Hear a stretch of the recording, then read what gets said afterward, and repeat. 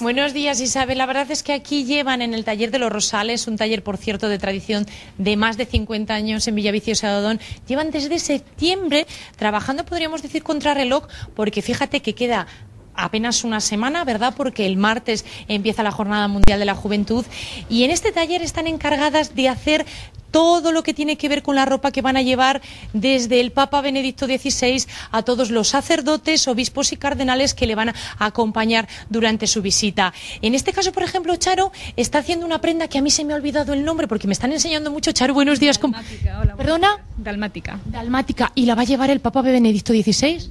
Sí, sí. ¿Y para qué ocasión? Para cuatro vientos. Para cuatro vientos.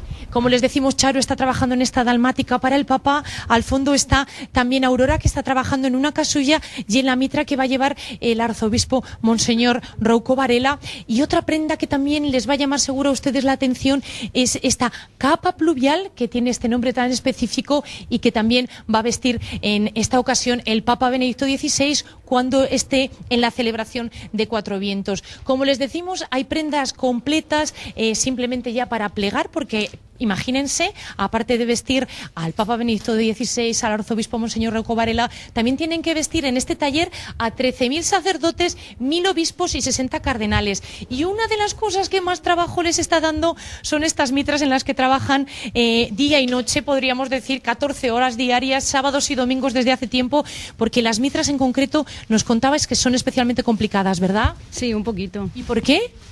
Porque hay que forrarlas con un cartoncito, luego hay que ponerle su forro Ajá.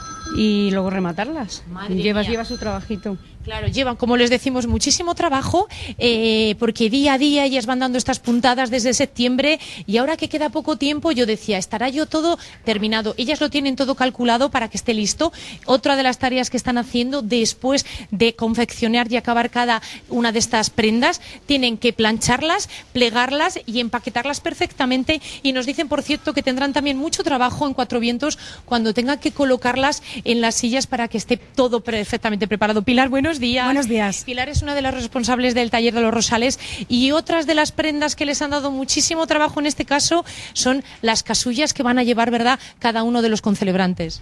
Pues mirad, estas casullas que veis aquí las llevarán los 13.000 sacerdotes que van a concelebrar con el Papa en la misa de, de Cuatro Vientos, el día 21 de agosto. ¿Y las que tenéis al lado? Estas son las casullas de los obispos, que de estas solamente hemos hecho mil. Solamente mil. ¿Y de los cardenales? Y la de los cardenales es esta, este modelo, hemos hecho 60 y está bordada a máquina. Madre mía. Es muchísimas horas de trabajo, Pilar.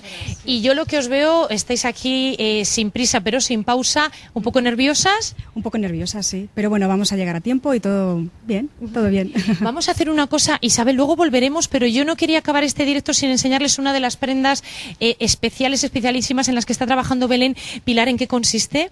Bueno, este es el mantel que el Papa va a utilizar en la misa de la Almudena, que va a ser el día 20 por la mañana, con los seminaristas del mundo entero.